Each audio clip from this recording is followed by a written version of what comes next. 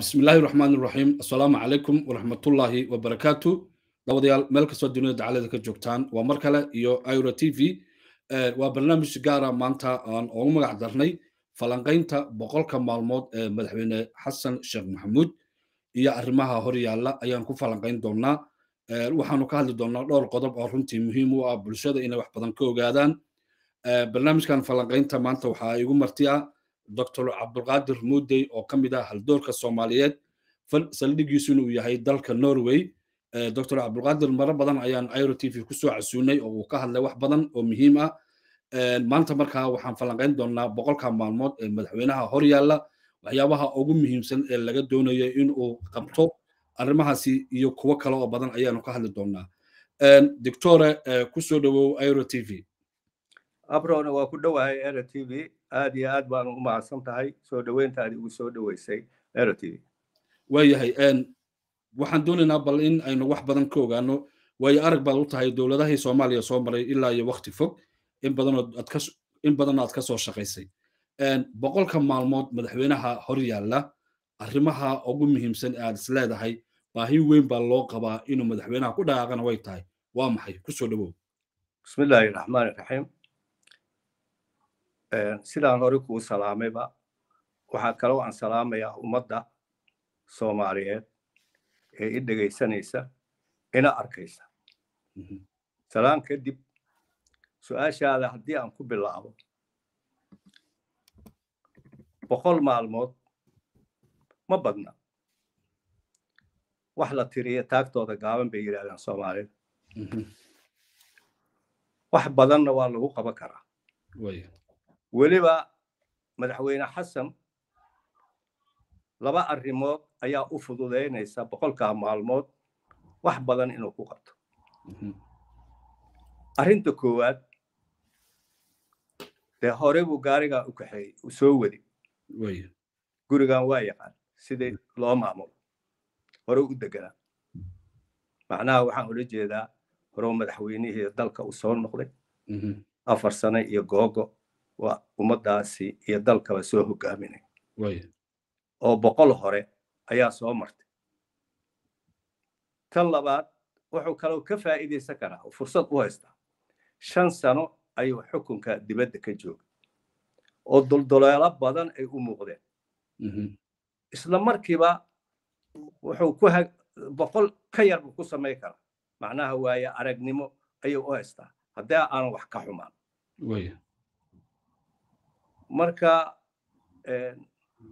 bilowga hadduu xumaadana waxa dambe oo dhan lama hagaaji karo.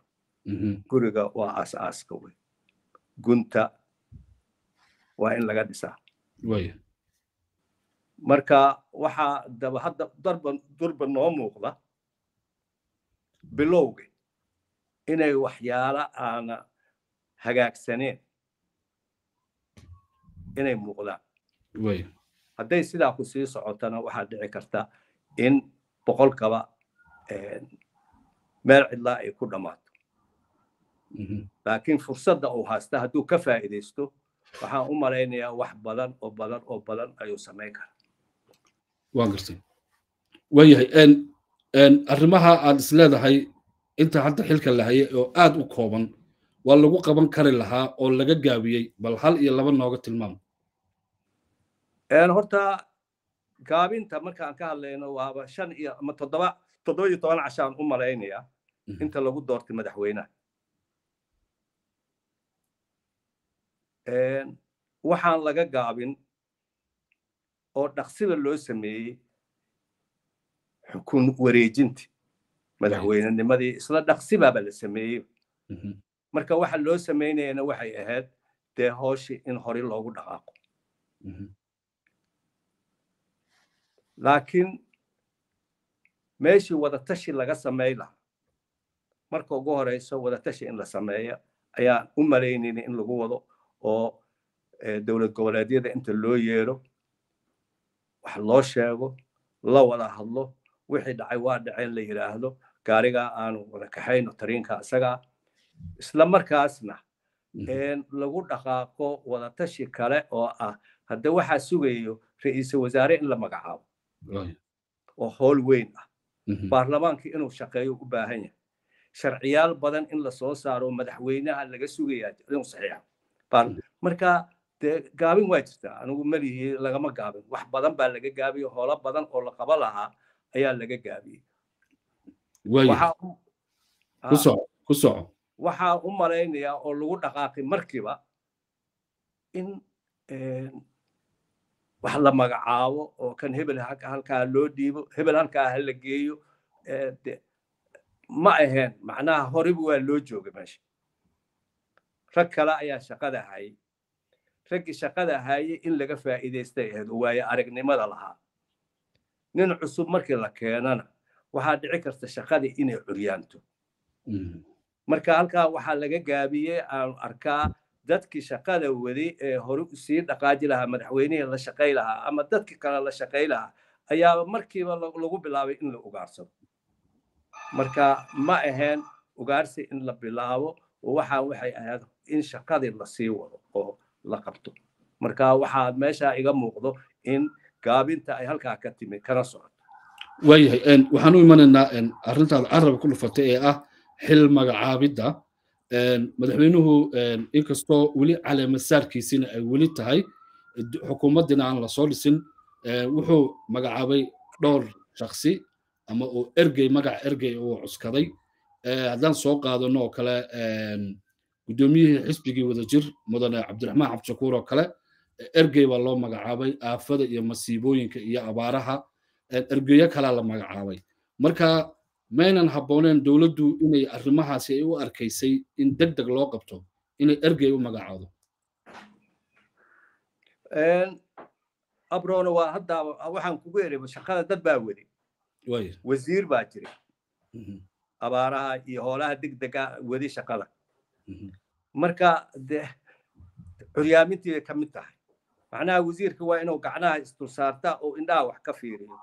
Oo sugo ninka cusub oo la soo magacaabay marka hala magacaabo ma xuma ergi. Dowladihii hore waa jiri jirteen ergi. Ergi muxuu yahay sideedaba. Waxaa la oran jiray minister of sense portfolio. Wasiir aan portfolio lahayn oo magaciisiya oo markaa inta la magacaabo shaqo soo qabto report ka soo soo ya war ka soo warceliyaa wixii meesha uu ku arko. Laakiin ninka isagaa sida lagu magacaabay oo la leeyahay waxay ila tahay wasiirka shaqadiisa oo dhan inuu qabanayo xataa waxaa soo gelaya prime minister hooshiisa inuu qabto. Isku dhac inuu yimaad marka haddii uuna yahay ninkaani anaa magaca orod meeshaa tag iga warkeen waa wax kale. Anugu ergeyga sidaasaan u naqaan sidii ergeya badan ee dalka u joogaan oo kale. Waayahay waayahay waxaan u imanaynaa hay'adda awoodda badan ee loo yaqaano nisa oo hay'adda runtii marka laga hadlayo dowladnimada yani sirdoonka iyo waxaa la yihahdaa ciidanka ayaa dowladda sees u ah. Nisa waa hay'ad xoog badan aadna loo qalabeeyey oo loo tayeeyey. Waxaa loo magacaabay xildhibaan mahad salaad. Dadka soomaaliyeed qaarna waa soo dhoweeyeen qaarna waa diideen. Adigu xilkaasi mahad salaad mudane mahad salaad loo magacaabay. Sideed u aragtaa? Horta aragga waa wax kale.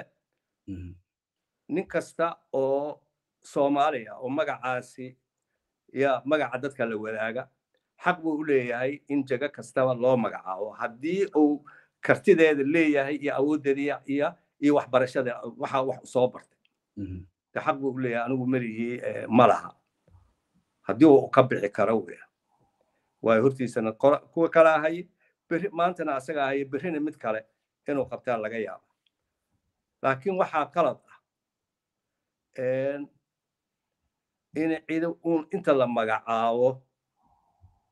Isla markiina aan waxba kii horeo joogay aan waxba lagala wareegin.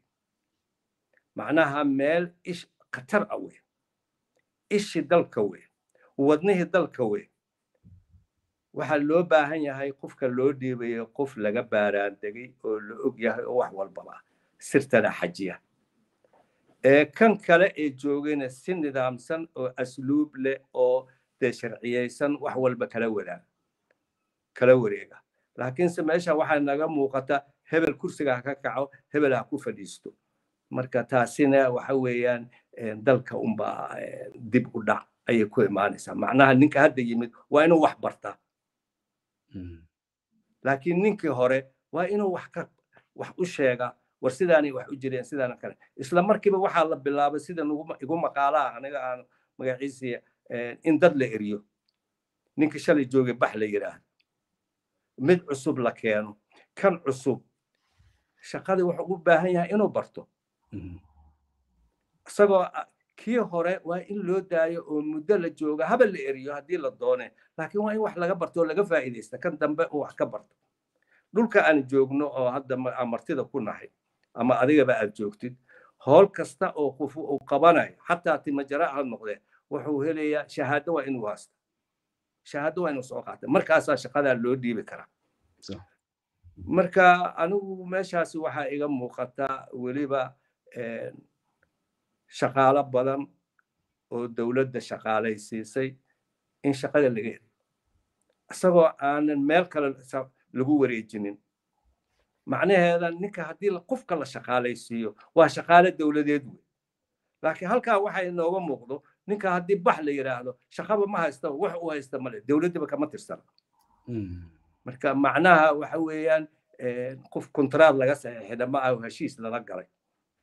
Marka anigu mahasalaad marihii de uma qalmo ama meesha ma ma istaahilo. Laakiinse waxaa loo baahan yahay de waxaa waxaad u qabtaa dadkii yimid inay xooli dheeraada ay ku socdaan. Oo meesha ka muuqato wax la yidhaahdo argosia madaxweynahana waa ka digay wuxuu yidhi argosi ma ogoli. Cid la dabagelaya ama wax loo raacanaya male marka qodobka arrintaa iyadaa waxay ka hortegaysaa ballanqaadkii madaxweynaha uu ballanqaaday ololihiisii. Waayahay waxaan u imanaynaa sidoo kale qodobka safarka madaxweyne xasan sheekh maxamuud uu ku tegey magaalada baydhabo maamulka caasimadda kumeel gaarka ee maamulka koonfur galbeed madaxweynaha waxaan ognahay saan hore u sheegnay caleemasaarkiisi waa weli. Waktigii xukuumaddiina waa la sugayaa maxaa soo dedejiyey dad badan isweydiinayaan inuu safar ku tago baydhabo ama koonfur galbeed? Soo dhowo mar kale. Horta amuuraha dowladda waa tiro badan yihiin. Wax badan oo annaga naga qarsoon baa jira oo ay dowladda og tahay. Ama ama ay ku safraan ama wax ku qabtaan laakiin hal mid in la isweydiiyo baanu xaq u leenahay. Haddaan shicibki nahay. Maxaa soo dedejiyey? Inuu madaxweynaha baydhabo aado sida hadda la leeyahay duusamaree buu aaday bay qaar leeyihiin.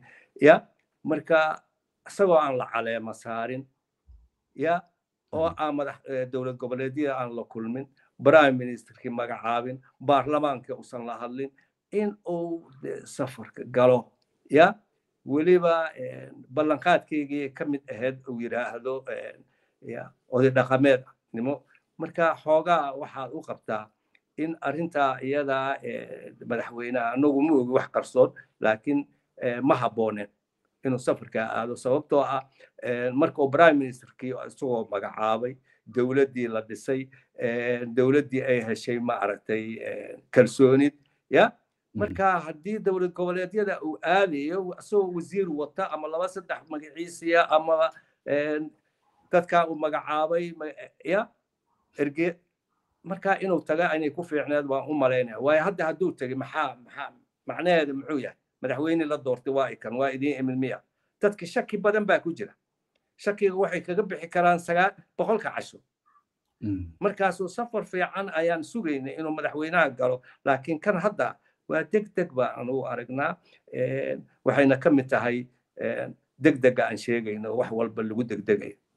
Marka ma ogi hoolaha dowladda laakiin waa tiro badan yihiin waayahay doctore waxaad ka soo shaqaysay dowladihii hore ee wixii burburka ka horreeyey waayo aragna waad u ahayd bal maxaad ku qiyaasi karaysaa xilliga ayada ah hanaanka dowliga ah marka gobollada la aadayo xilka madaxweynaha marka la qabto iyo hadda waxyaabaha aad is leedahay faraq weyn baa u dhexeeya ama xilligaa dowladnimada way jirtay.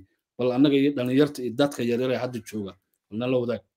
Wallaahi de horta dadka dadka aniga ila da'daa iyo wixii iga weynba dhafoorahaan haysanaa labada dhafoor baa sidaa u haysanaa macnaha waxaan leenahay waa dowladnimadana ma sidaana. Tanna ma noo dambeysa. Horta dowlad wanaag iyo kala dambeyn ayaa ayay soomaalida lahayd. Ma dhihi karno dowlad xun baa jirta. Dowlad kastana waxbaa laga dhexlay weliba iyada oo hadde tacliintan iyo cilmigan iyo teknolojigan aan la haysan ayaan hore u soconnay. Marka safarka madaxweynaha uu aadaya marka haddaan ku soo hormaro ka hor intuusan bixin wafdi baa la diri jiray. Ee u gogol xaaraya madaxweynaha meel alle meesha uu tegayo ya ee arrintaasi inta uusan teginna ya ka hor inuu la hadlo dhiisiyada dhiisiga meesha joogo wax walbaba waa dee nidaam bay ku socdeen. Hadduu dhulka mara badanaana dhulkayba mari jireenba dhulkaa la maraya ya ka hor intuusan madaxweynaha tegin wasiiraha la diri jiray oo nin walba la dhihi jiray hadda sideedaas gobol ama magaciisii halkaa kala aada oo riboort ka keena riboortka loo keeno madaxweynaha markaasi ku safar ku shaqo bilaabi jiray safar bilaabi. Meel alla markaasi wixii ku cusubna oo wax ka qaban jira laakiin tan hadda ah oo ku soo boodka anu ma garanayo. Waayahay gebagabadii barnaamijkan ku shaqaynaa waxa aan is leedahay ka waaya aragnimo ahaan waad ku beerin kartaa dowladdaada iyo madaxdaada iyo shacabkaaga. Waa maxay? Waxaan horta aan ku beeri lahaa waxa weeyaan aan ku hormara tan magacaawista ra'iisal wasaaraha. Dhowr dowladood baana soo maray. Ee inta ra'iisal wasaare la magacaabo madaxweynaha isqabtaan muddona sidaasi dowladda kaga dhunta ka waaya aragnimo ahaan iyo waxa aan soo aragnay. Dhibaatada meesha ay ka socoto waxa weeyaan waxaa la magacaabaa ra'iisal wasaare. Ra'iisal wasaarahaasna dibadda dibaddu ka yimaada. Ama saaxib ha la ahaado ninka madaxweynaha ama sideedaba ha loo arko nin macquula. Hadda labada baarlamaan waxa waxa weeyaan markii laysku daray xildhibaanadooda saddex boqol iyo sagaal iyo labaatan baan u malaynaya inay yihiin. saddexdaa boqol iyo sagaal iyo labaatanka ayaa madaxweynaha dooratay. Kuwaas oo ka jawaabaya saddexdaa boqol iyo sagaal iyo labaatanka shicibka soomaaliga oo dhan. Shicibkii soomaaliya ayaa madaxweynihii doortay. Asagana annagoo dhan buuna yahay. Marka ma saddex boqol iyo sagaal iyo labaatan oo nin walba uu ku jira miyaa laga waayey qof inta laga soo xusho prime minister laga dhigo.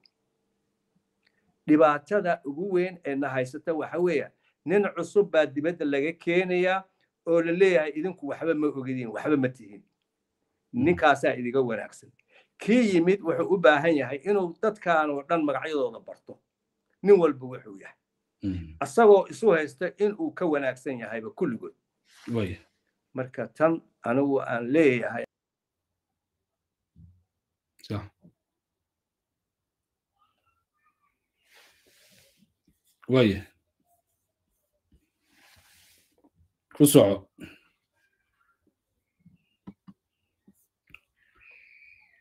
أوكي دكتور من مغلسه دكتور